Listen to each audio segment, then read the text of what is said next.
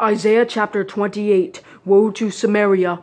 Woe to the majestic crown of Ephraim's drunkards, and to the fading flower of its beautiful splendor, which is on the summit above the rich valley. Woe to those overcome with wine! Look, the Lord has a strong and mighty one, like a devastating hailstorm, like a storm with strong flooding waters. He will bring it across the land with his hand.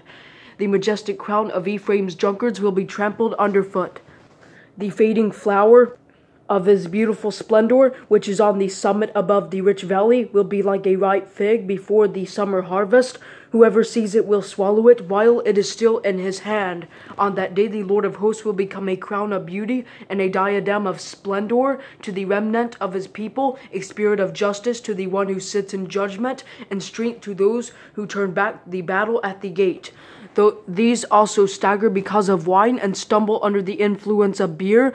Priest and prophet stagger because of beer. They are confused by wine. They stumble because of beer. They are muddled in their visions. They stumble in their judgments. Indeed, all their tables are covered with vomit. There is no place without a stench. Who is he trying to teach? Who is he trying to instruct? Infants just weaned from milk, babies removed from the breast. For he says, Law after law, law after law, line after line, line after line, a little here, a little there. So he will speak to this people with stammering speech and in a foreign language. He had said to them, This is the place of rest, let the weary rest, this is the place of repose, but they would not listen.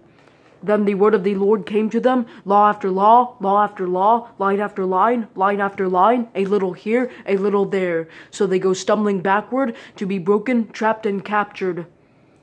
A deal with death. Therefore hear the word of the Lord, you mockers who rule this people in Jerusalem. For you said, We have cut a deal with death, and we have made an agreement with Sheol, where the overwhelming scourge passes through, it will not teach us, because we have made falsehood our refuge and have hidden behind treasury. Therefore the Lord God said, Look, I have laid a stone in Zion, a tested stone, a precious cornerstone, a sure foundation. The one who believes will be unshakable. And I will make justice the measuring line, and righteousness the mason's level. Hail will sweep away the false refuge, and water will flood your hiding place.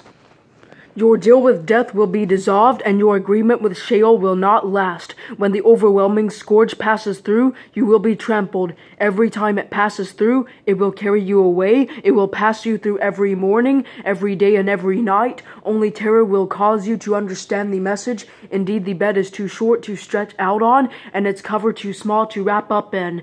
For the Lord will rise up as he did at Mount Perazim. He will rise in wrath, as at the valley of Gibeon, to do his work his strange work, and to perform his task, his disturbing task. So now do not mock, or your shackles will become stronger. Indeed, I have heard from the Lord God of hosts a decree of destruction for the whole land.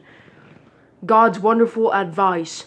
Listen and hear my voice. Pay attention and hear what I say. Does the plowman eh, plow every day to plant seed? Does he continuously break up and cultivate the soil? When he has leveled its surface, does he not then scatter back back cumin and sow cumin. He plants wheat and rows and barley in plots with spelt as their border. His God teaches him order and he instructs him. Certainly black cumin is not threshed with a threshing board, and a cartwheel is not rolled over the cumin, but black cumin is beaten out with a stick, and cumin with a rod. Bread grain is crushed, but it is not threshed endlessly. Though the wheel of the farmer's cart rumbles, his horses do not crush it. This also comes from the Lord of hosts. He gives wonderful advice. He gives great wisdom.